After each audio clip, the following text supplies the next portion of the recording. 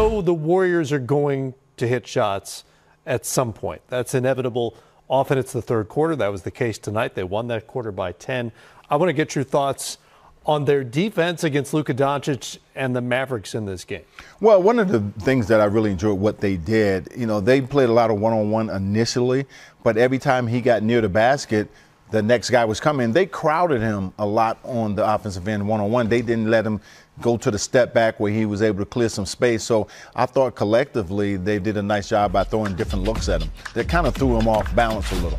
Yeah, Andrew Wiggins got the primary assignment guarding Luka Doncic just as he did during the regular season. What did you make of, of the work he did? Listen, uh, I thought he was the, the most valuable player on the floor for Golden State. Steph was terrific as well, but I just felt like Wiggins accepted the challenge. It was almost as if they challenged him, the coaching staff, prior to this game, to not let Luka do to them what he has done to everybody else. And he accepted that challenge. And I also thought he was aggressive offensively. That wasn't he took the most shots of anybody on the Warriors team tonight. And, and to me, that that gave everybody confidence because you know you go into a game like that when you play with great players. I'm sure your teammates felt this way.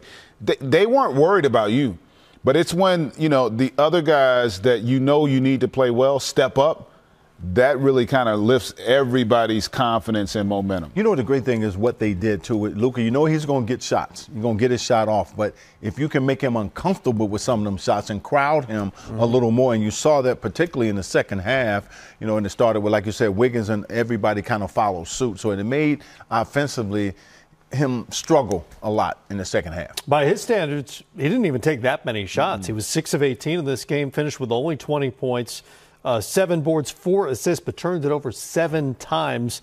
Seven of the uh, 12 for Dallas in this game. You know, Jason Kidd has been pretty intent on making sure that the Mavericks take more threes than their opponents so far in the postseason. they did that with Utah. Utah is a, a three heavy team. Yeah. They still outshot them from three. Did it against Phoenix. They don't take as many threes. Tonight they got out 48 shots. Only 11 of them fell. You know, some nights you're just not hitting shots. But what does that say to you about their offensive approach? Well, I, I think it says more about Golden State's defensive approach. Okay. I, I, I do know that they want to take those threes. But I thought Golden State did a great job of not letting them take a lot of rhythm threes. I thought the first quarter they got some good looks. Mm-hmm. I, I, thought they got a lot of good ones. They, they weren't making them, and then I, I felt like they started pressing um, but I, I, do think the fact that they shot the ones they won in that first quarter, that's what they'll focus on.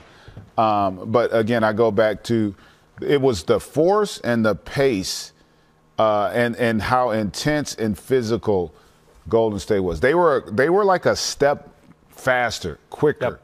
All around the board, and it just seemed to me that Dallas couldn't catch up to them in terms of they. they it, I know they were prepared, but they when you play that slow, it makes you think that they're thinking a lot and they're yeah. not doing the things that are necessary to make them competitive in this.